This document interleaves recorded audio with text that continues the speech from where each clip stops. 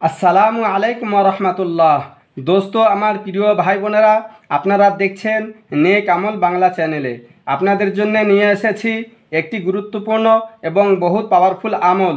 সেটি হলো সেকেন্ডে সেকেন্ডে লক্ষ কোটি নেকি। তো দোস্ত, আমার প্রিয় ভাই বোনেরা ভিডিও শুরু করার আগে আপনাদের কাছে একটি অনুরোধ। আপনারা যারা এখনও সাবস্ক্রাইব করেননি, এখনই নিচে লাল লেখা সাবস্ক্রাইব করে দিন এবং পাশে থাকা ঘন্টি বেলাইকেন ক্লিক করে অল করে দিন যাতে নতুন নতুন সমস্ত ভিডিওগুলোর নোটিফিকেশান আপনাদের কাছে আগে পৌঁছয়। তো দোস্ত, আমার প্রিয় ভাই বোনেরা, আপনাদের সামনে স্ক্রিনে যে লেখাগুলো দেখছেন, এই লেখাগুলো পাঠ করিলে বা আমল করিলে কাল কিয়ামতের দিনে বা হিসাব নিকাশের দিনে মিজান পাল্লার সবের দিকটা ভারী হবে এবং আল্লাহর রহমতে সে জান্নাতি হবে।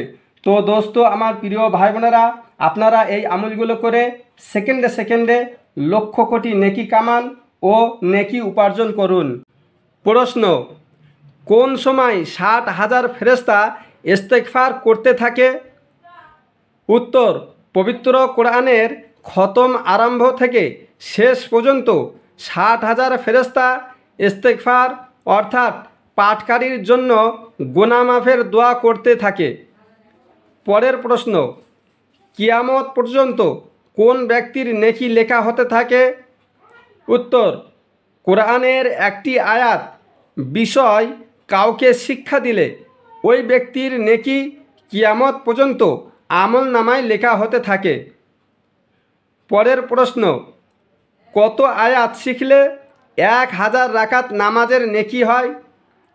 উত্তর, নবী করিম সাল্লাল্লাহু আলাইহি আসাল্লাম ফারমান বা বলেছেন এবং পবিত্র কোরআনের একটি আয়াত শিক্ষা করা এক শত রাকাত নফল নামাজ পড়ার নেকি আর ইলমে একটি অধ্যায় শিক্ষা করা এক হাজার রাকাত নফলের চেয়েও উত্তম। পরের প্রশ্ন, এক মুসলমান অন্য মুসলমানকে খানা পিনা করালে কি লাভ হয়? উত্তর, এক মুসলমান অন্য মুসলমানকে তৃপ্তি সহকারে খানা পিনা করালে জাহান্নাম একশো বছরের রাস্তার সমান দূরে সরে যায়।